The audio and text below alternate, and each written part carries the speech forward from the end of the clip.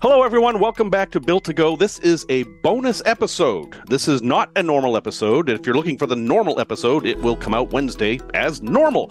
This is a special chance that we have to sit down with Jess from goRoam Tech, and she's going to tell us about how she handles the massive problem of getting internet on the road. I mean, let's face it, if if folks have a hope of being able to work while they're on the road, it's almost always going to rely on a decent internet connection.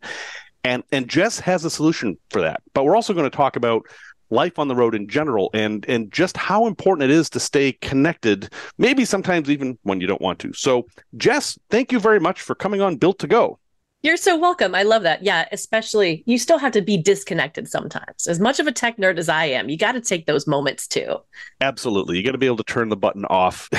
I, I just did a podcast about living life on your own terms, which is what I think most of us are actually attracted to van life or nomad life. As I know you guys are in an RV, and to me, that's the same thing as a van. You're just in a big van. Yes, yeah.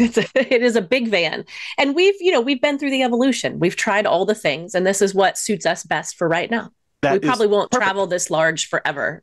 Yeah, that that's exactly what you should do. And living life on your own terms, unfortunately, is dependent on making money and a lot of times making money means you have to be connected to the internet. Or, you know, you've got other reasons too. You've got family to worry about and friends to keep in touch with and all that. So, assuming you did not grow up in a van, that you lived in sticks and bricks at some point, tell me how you ended up becoming nomads.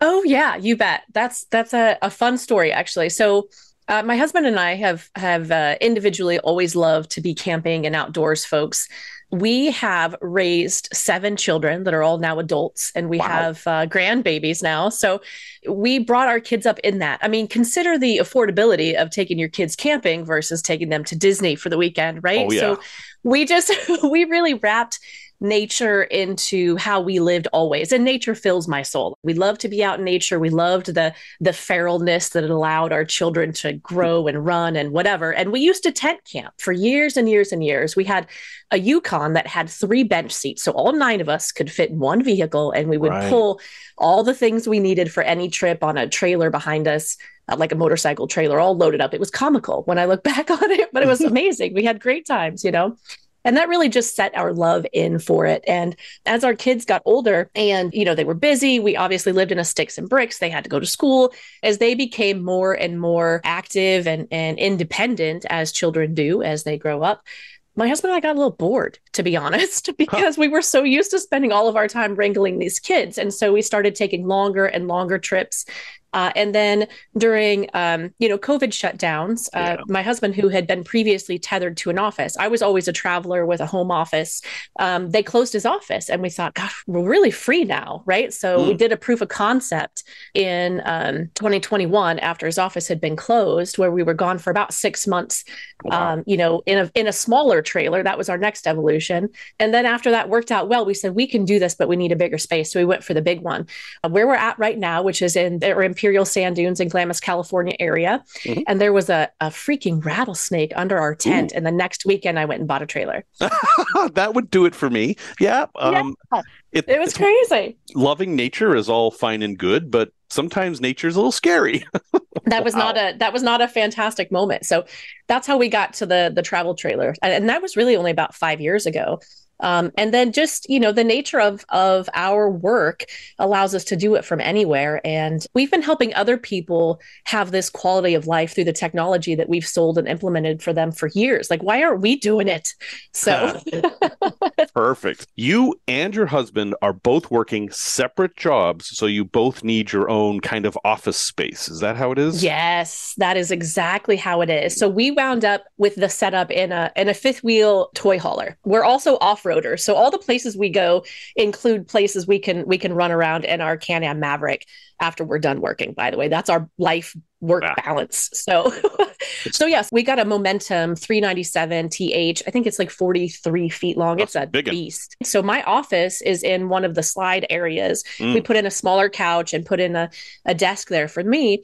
And then, you know, between here and the garage area of this particular model is a nice glass door, which is great for noise reduction. Right. Uh, and then my husband sets up his office. He's got a full command center with three monitors and the whole shebang he needs to do his job effectively in the garage. And then we've got the separation. So when we were in the smaller trailer, one of the things we were challenged by was just that we're both constantly on the phone. I host a lot of events for entrepreneurs right. and I'm I'm pretty high energy and he's trying to talk about very very technical stuff yeah. that he doesn't need me distracting him from and vice versa. So we needed the separation. Here we have everything we need to be very comfortable to do a day's worth of work that is on cool. different applications. Yeah. For listeners who may not be aware of the type of rig she's talking about, this is a, this mm. is a really big fifth wheel. So it hooks into the back of a pickup truck. It's not on the bumper.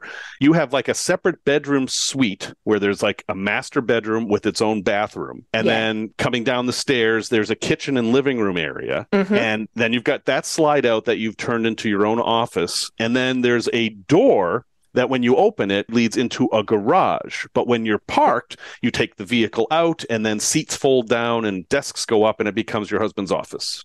That's correct. And when we have guests, they have their whole own suite. There's a bathroom back there even. Oh, you got two so, bathrooms. Wow. Yeah. it's, oh. it's almost ridiculous even to me and I live in it, but it really suits our needs well. So you're not the type of folks who are going to be say, uh, well, we're going to do California today, and then we're going to go to Vegas tomorrow, and then we're going to go to Arizona the next day. You you go somewhere and you sit for a while. We do. We like to sit for about two weeks at a time. Just ah. the the cost of movement and the hassle, if you will, of loading our Can Am up to get to the next location and that sort of stuff. Okay. But we do love to boondock, and that's what we're doing out here right now.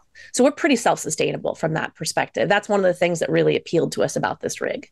So you got big holding tanks. We got big holding tanks and two, right? Because we have two bathrooms. Right. So we have like you know, extra, extra hey, tanks. the front one's full. Go go to the back. That's right. You're gonna have to use the the guest one, right? And then, um, you know, we've got solar panels and the built-in generator, so we're able to to work just on what nature provides for the most part. That is awesome. I, I love that. You know, van life channel. Most people are in much smaller vehicles.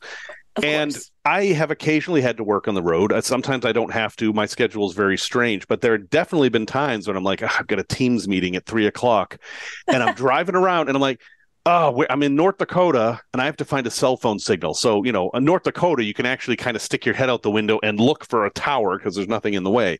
But it's such a stress that this need to be connected. The only connectivity I have is my cell phone, and I know other people have tried Starlink and things like that but for you guys, it sounds like from what you've told me, once you're set up, it's just like you're at home in a city as far as internet goes. Absolutely. So there's a few factors that go into that. I mean, we we use LTE services like you would on a cell phone quite a bit as well. Break that down. LTE is okay. it's kind of like the internet for cell phones that came out before 5G. That's a good way to explain it. So Thank you. Yeah. It's, it's fairly fast. Uh, it's fast enough to do a video call, for example. It's not the latest greatest, which means it's more available and in some ways more stable. Yeah.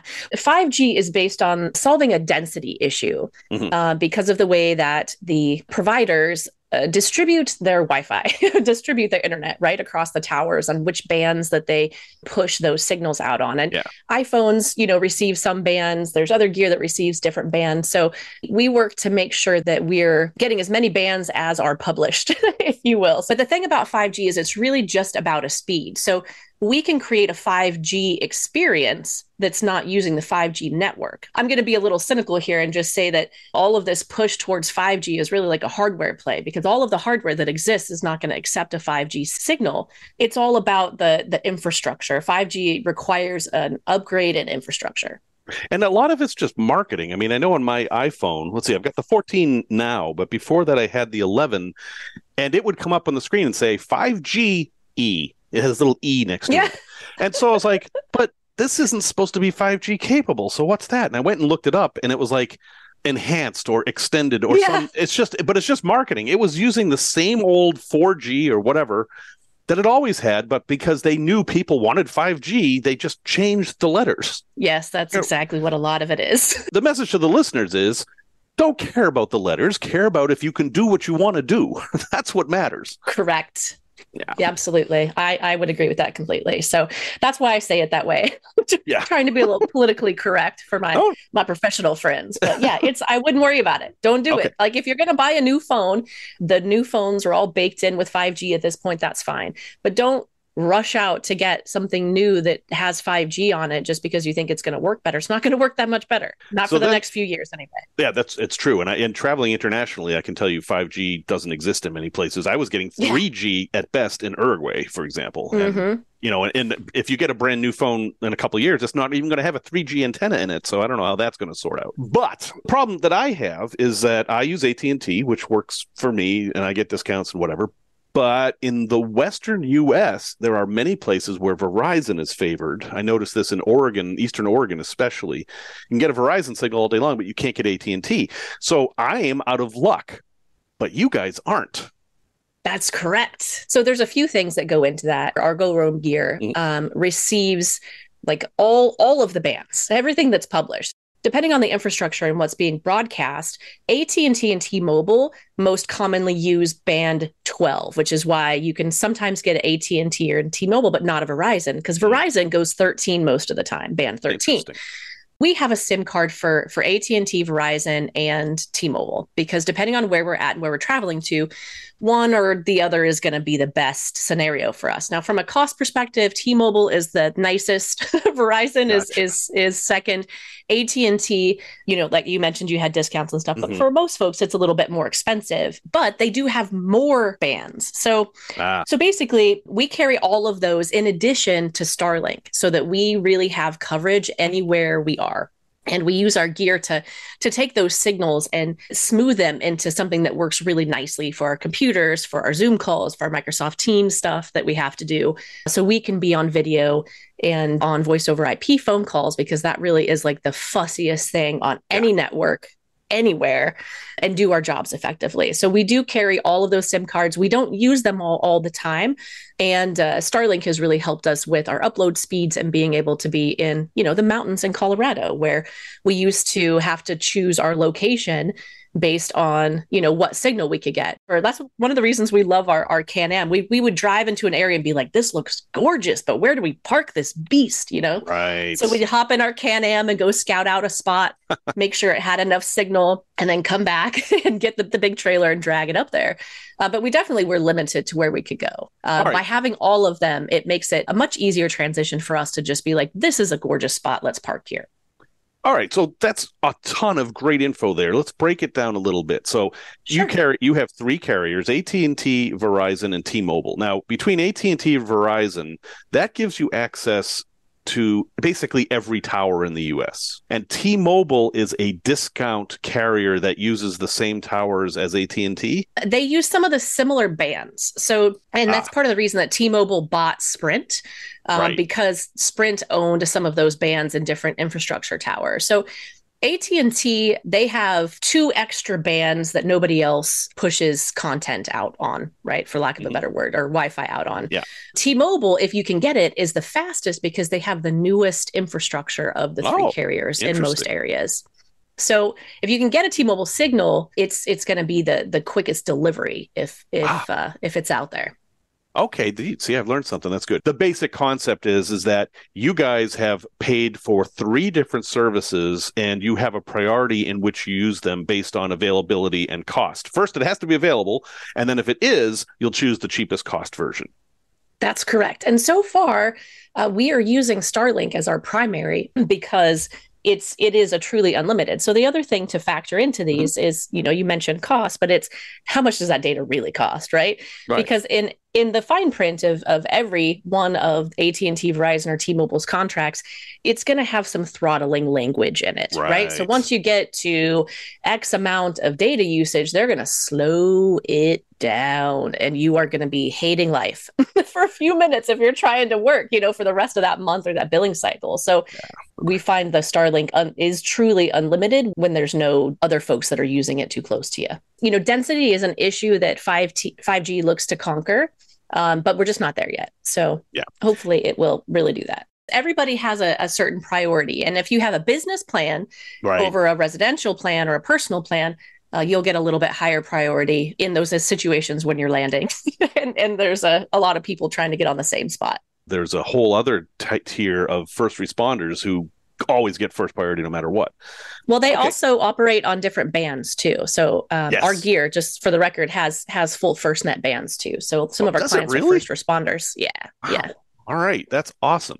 Okay, so now based on everything you said, someone might might be wondering, well, they've got all these different plans, but they have Starlink. Why don't they just use Starlink? What do they need the rest of the stuff for? So, introduce us to your experience with Starlink because it's still relatively new, and then tell us why you still have all these different things. We brought Starlink into our mix really to increase our upload speed. So, our software optimizes our experiences while we're on Zoom and Microsoft Teams. And my husband often is on Teams and I'm on Zoom and we're we're using all the power to make sure we have really great internet-based video and phone calls. Mm-hmm. And then some days I couldn't even open my email because there wasn't yeah. enough left over to be able to get on my cloud-based email platform or God forbid I had to like upload a video to right. Facebook or YouTube or something and it just wasn't happening. I had an experience where it took took me like 48 minutes to upload like a 37 second clip. Oh. And I about lost my ever loving mind. So I was like, we have to do something better. But we we already had all the things that we could have to make sure the internet was good. And, and uh,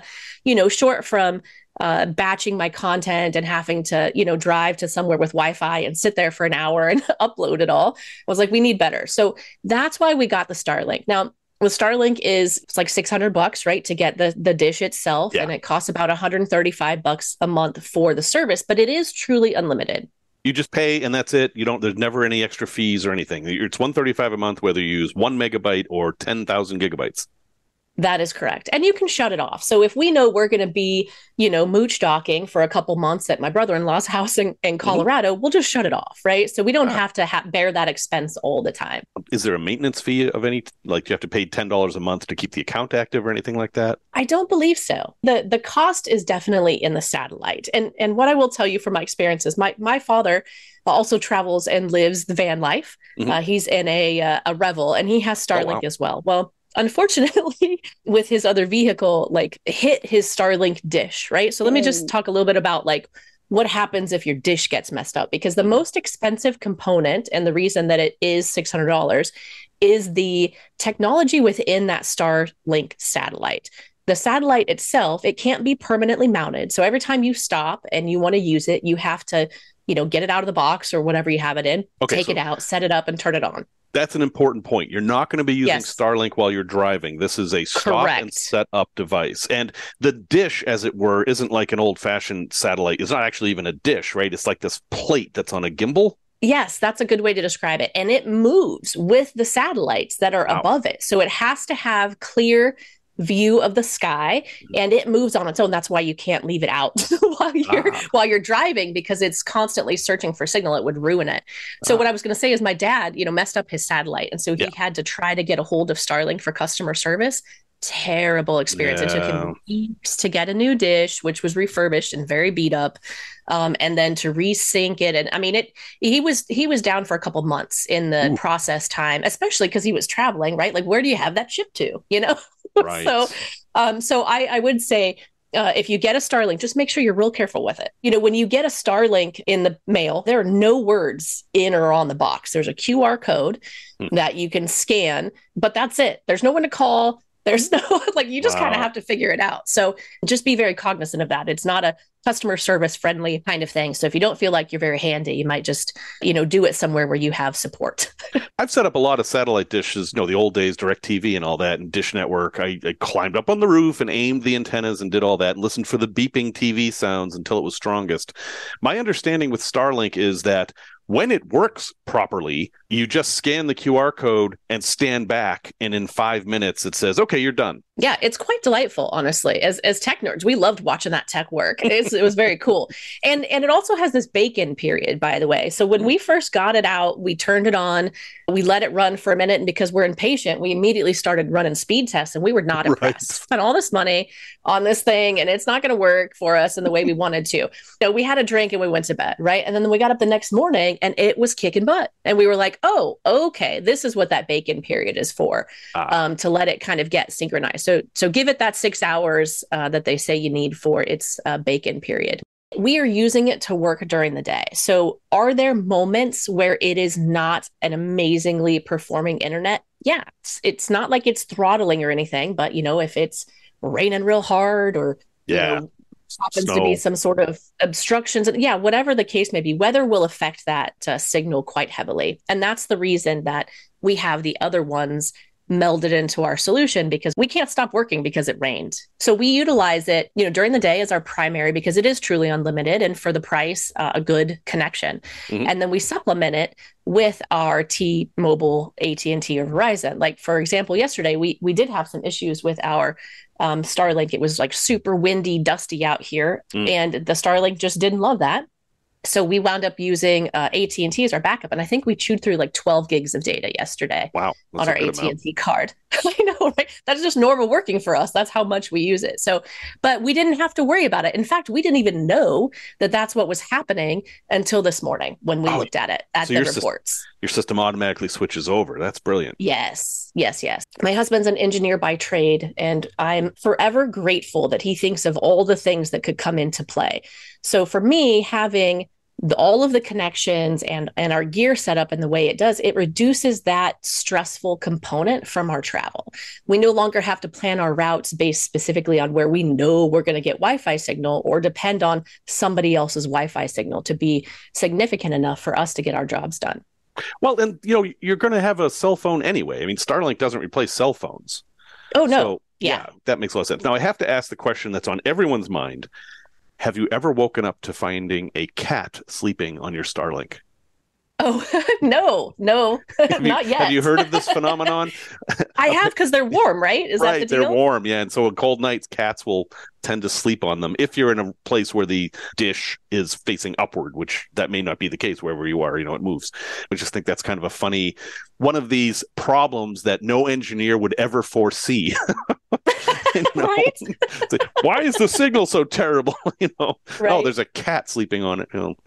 uh. And I and I knowing. Um, you know how that company innovates i wonder if they'll come up with some sort of anti-cat protocol for the dishes or something where it'll sh- shake or zap the cat or not probably not right all right well, that is all great info, and and you, in many ways, for many of us, you are living the dream. I mean, you are kind of where a lot of people are trying to get right now, and I know that doesn't mean it's easy and you've got all life figured out and all that.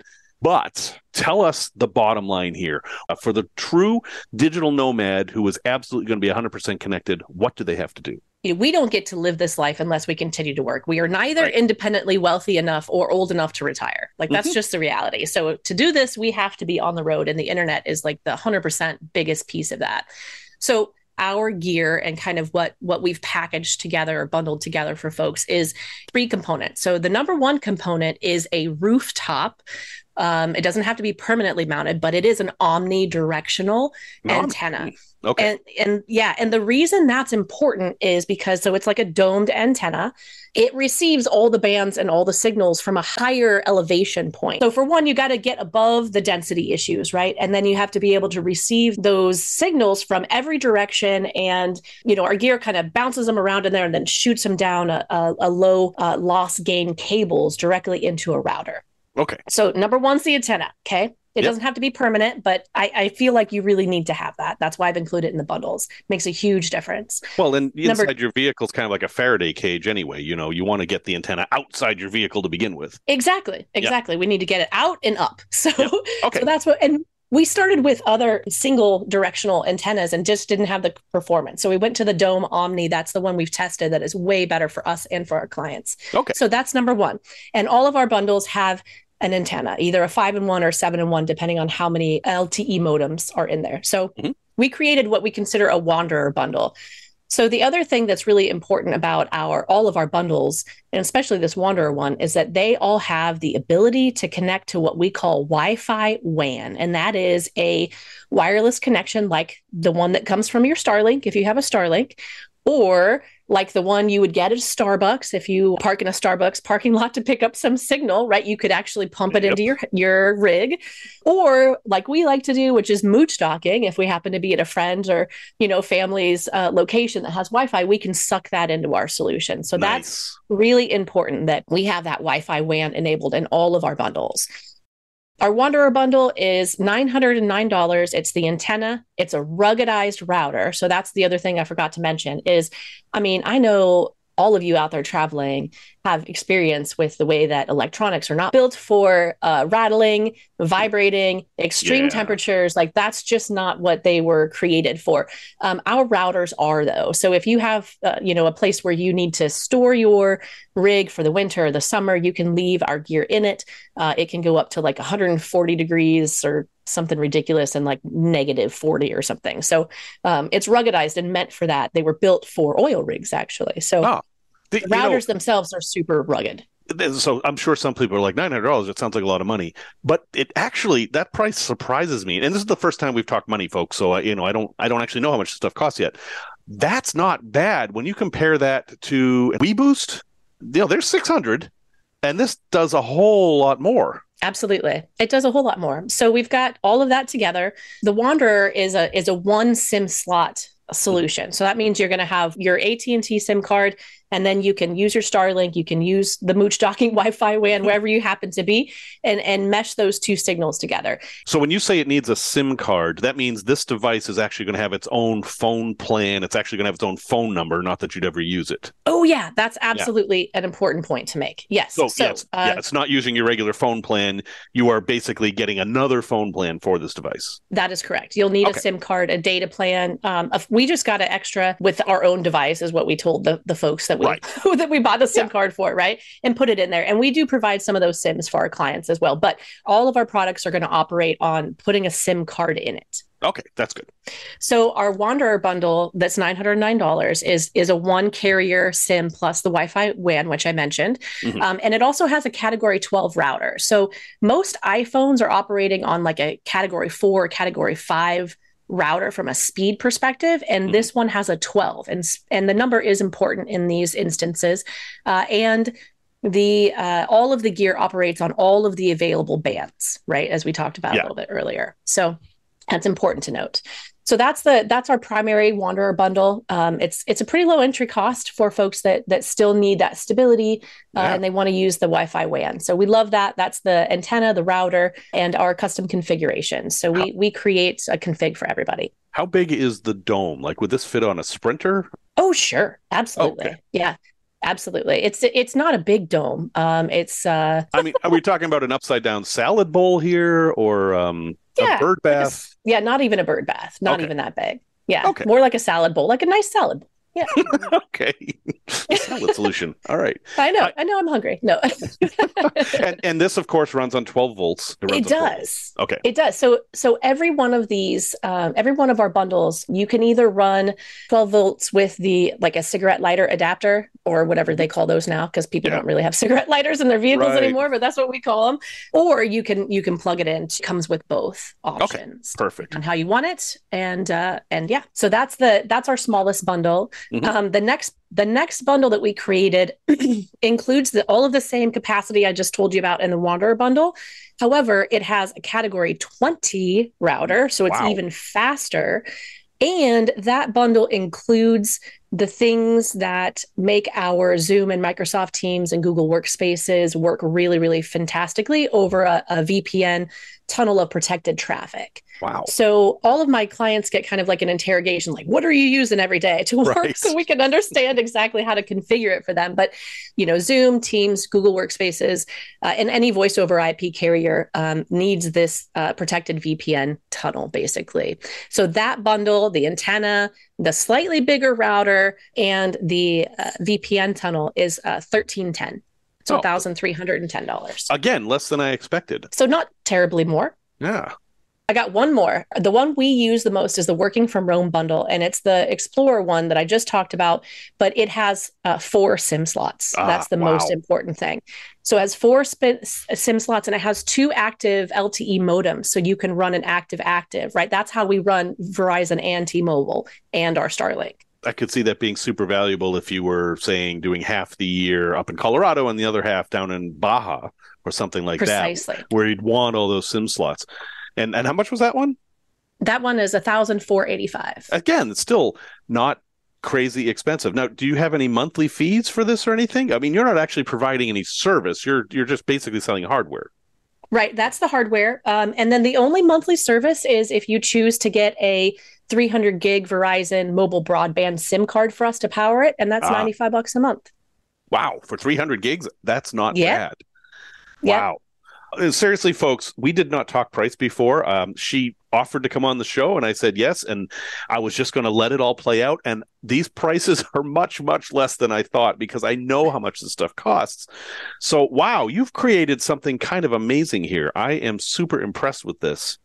So, what tips would you give people who are living in a van to improve their connectivity, just in general? So, number one, in your Google Chrome, enable the data saving mode. Okay. Ah. Uh, it's just under the settings. Enable that because that will save you so much data. Batch your uploads. You know, if you've got a bunch of content you need to upload or, or files you need to send, do that when you get back to Wi Fi. Try not to do that out on the road if you can. That makes sense. Turn off all those notifications and cloud backups and the automatic syncing, right? So a lot of your apps are going to say, you know, they're working in the background. Don't do that. Turn it off. so, and then, Yeah. you know, you can change your streaming preferences if you want to watch some Netflix or something down to a real low level. Right. I mean, folks like, oh, I have to have everything in 6K HD. It's like, no, you don't. You're watching this on your phone. You know, Exactly. turn it down as much as you can before it starts getting fuzzy, and you'll be surprised how much you can turn it down. Exactly. Exactly. Yeah, that's true. And another tip that I've learned I spend a lot of time on cruise ships, which often have terrible connectivity. When you're traveling, turn off automatic app updates. Um, So the way, Yes. way you normally have it is your apps will update when a new version comes down. What's happened to me on many cruises is that a big app will start downloading and then die, and that kills the app until you're finished. So you might have some app that you have to use all the time in a low bandwidth situation. You could lose access to it if it tries to update. Yeah. Also, I would say, um, especially when we're traveling, like we'd love to take a million photos. You got to turn off the way that iCloud Oh yeah. um, optimizes your photos because that's a huge data suck. That's gonna that's gonna pull it down, and and then just stop your syncing. I mean, it's something you have to change about you know the way that you operate normally because in a sticks and bricks you know if you've got you know fiber in your whatever most people don't think about the fact of the updates of your phone at night how it's set that kind of stuff so you have to be a little bit more um, intentional about when you update that stuff but turn that off while you're on a trip with low bandwidth because that's going to eat up your data Yeah, that's very true. And another thing is, unless you're waiting for an emergency phone call or something, turn the phone off. I mean, y- then you- exactly you don't have to charge it then either. You know, we we don't think like that because well, I always have my phone on. Someone might be trying to call me, but you know, if you're out in the boonies, turn the phone off. It's okay. You can survive a night without the phone being on. Right. That's what we're always like, you know, is anybody going to die because I didn't answer my phone? We, we, you know, it's one of Yeah. those like, no, like nothing's going to be that urgent. It is funny though, because we live in such a connected way. We did a trip to um, Montana and Glacier National beautiful. uh, last, it was so gorgeous. Um, last fall or two falls ago. And it was part of our big proof of concept trip. And we told all of our children, like, we are going to be out of service. We had researched it. We knew it. It was one of those moments we were like looking forward to being off grid for a bit, you know, like it was a Yeah. real vacation for us. Yeah. Man, as soon as we got up into Glacier and, and we got some service again from where we had been camped at, our phones were going crazy because Yeah. they didn't believe that was actually going to be true for us because it's so out of character for us to be truly connected. Our our kids are worried. They're calling each other. They're calling our parents. Like it's crazy, but you know they just get used to that kind of thing. So you got to create the right expectation for the people that know and love you and might be looking for you. It, it it's sometimes it's nice living in the future and i think the tech that you guys have put together eh, which to be fair this is all tech that existed but you guys have figured out how to optimize it for digital nomads. That's that's your value add.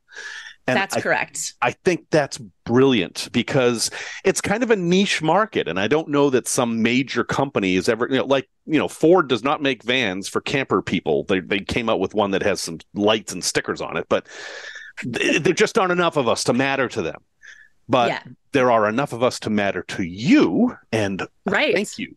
thank you yeah. for thank you for doing this. So how do people get in touch with you? How do you know give me all your marketing stuff so people can get in touch with you and I'll have links in the show notes, of course we are tech nerds. We we have access to technology that that folks can't buy in a store. Like how can we use that to serve ourselves a? So I mean, selfishly we had to solve our own problem first.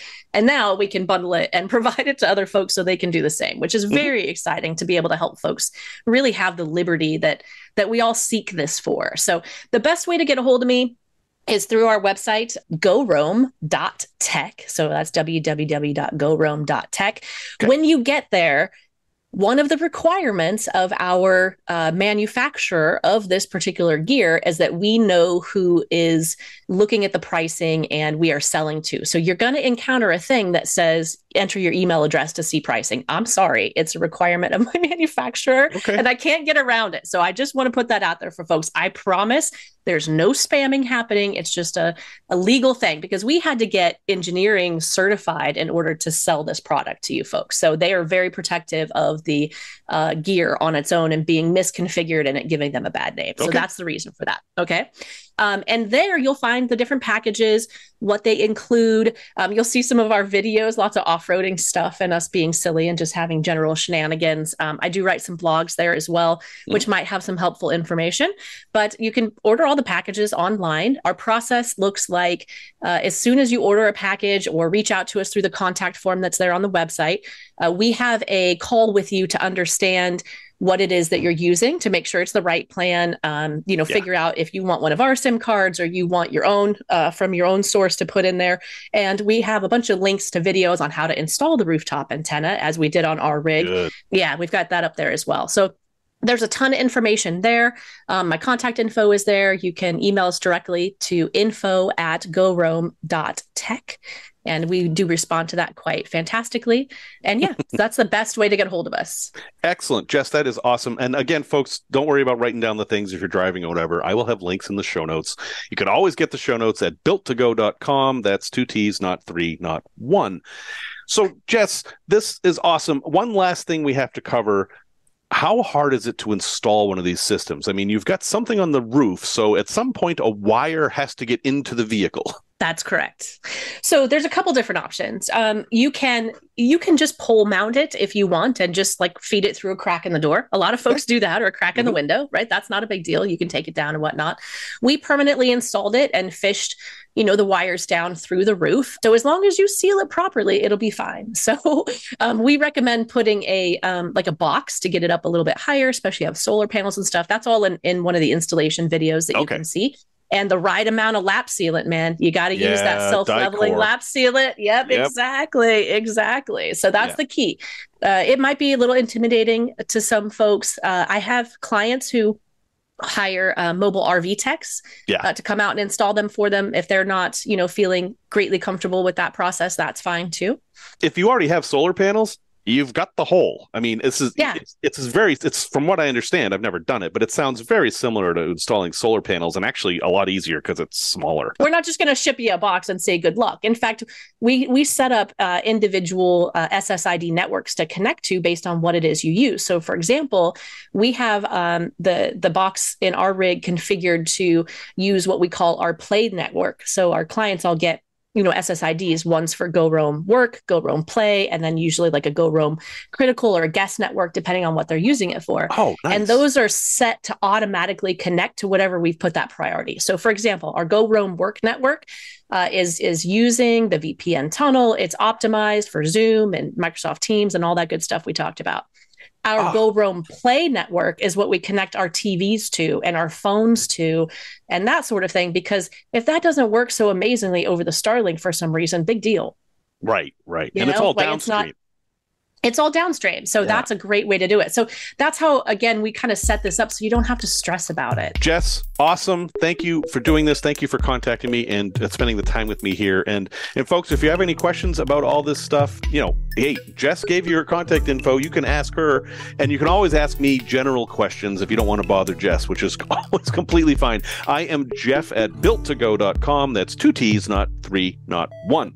Jess, thank you so much. Thank you for living the dream and making it a little bit more accessible for the rest of us who are just trying to get there. Oh, thank you so much. It's been an absolute pleasure and I look forward to helping anybody. So don't be don't be shy about reaching out.